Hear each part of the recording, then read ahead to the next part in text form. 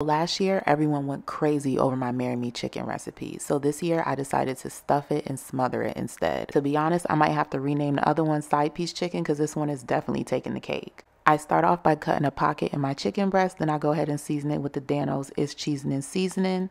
Then I massage those seasonings in and set that aside. Then I saute my onions, bell peppers, and sun-dried tomatoes with a tablespoon of garlic paste and I cook that until it's nice and soft. Then I transfer it to a large bowl with a block of cream cheese, a handful of spinach, two tablespoons of W sauce, and two tablespoons of the Dan-O's It's Cheesoning Seasoning. I follow that up with a half a cup of mozzarella, mix that all together, and go ahead and spread that onto the chicken breast and close that up.